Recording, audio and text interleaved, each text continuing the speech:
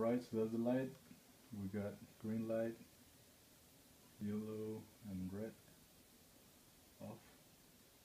It's pretty bright. We got all the relays, the board, and the Arduino all hooked up.